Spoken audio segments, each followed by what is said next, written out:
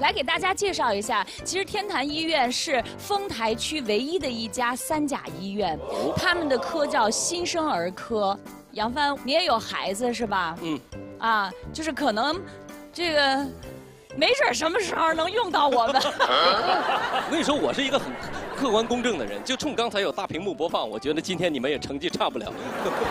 其实新生儿科并不像我们想象当中，每天在这儿都能够看到希望，迎接新生命的到来。在他们的科室，我们看到的更多的都是新生儿遇到的疑难杂症，所以他们其实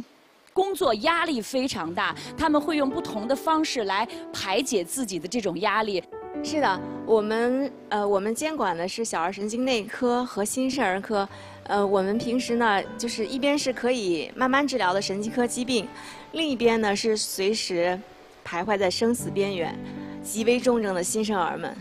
这完全是两种不同的情绪，有的时候我们也会感到紧张和焦虑。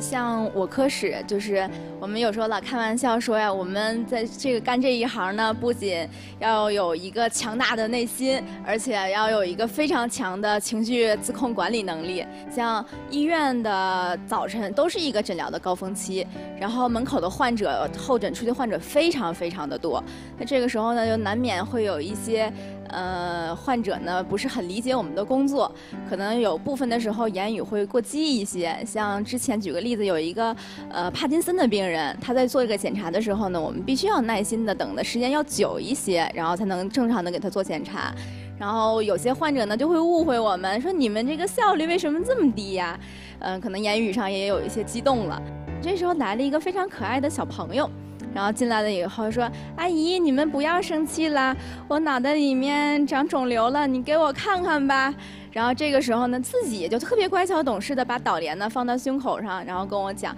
说：“阿姨，你看我放对了吗？”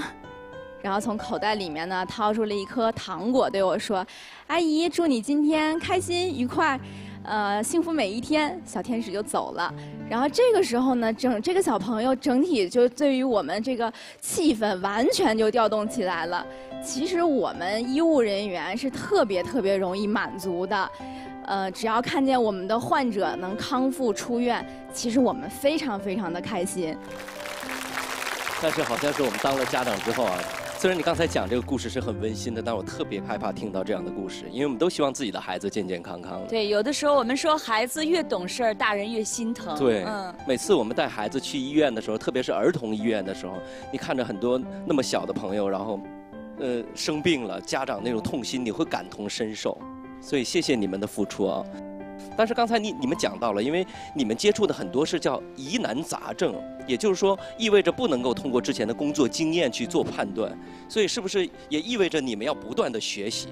其实这样的，因为我们呃不光看常见病、多发病，还有很多的疑难杂症，所以说我们大家就是觉得这份责任比较重大。因为来北京基本上是大家的最后一站，所以对我们来说，白天收完这个病人，晚上的话大多时间都是在看文献、看 paper，你就你很担心，呃，也许是不是有我哪方面失误没有看到或没有查到，给他耽误了病情或者之类的。其实有的时候就是。为什么我们年纪轻轻都是这样，感觉像 老气横秋的？因为你身上担着很多的责任，有时是治愈，常常是帮助，总是去安慰。我们要从一堆治不了的孩子里面，要找出能治的病。就是可能就是说，就是你你做的事情，可能对你来说，嗯，可能只是一个病人；对这家庭来说，他是整个家庭。对。前一段时间，我跟一位呃，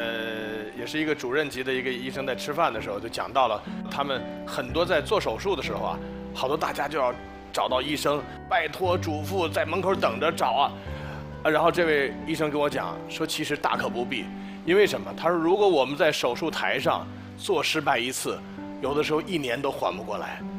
他都把责任放到自己身上，就刚才讲到的责任问题。所以我觉得特别感动，当时那种感悟啊，我觉得确实是这样的，所以特别特别的崇敬他们，真的真的特别感恩，感谢你们。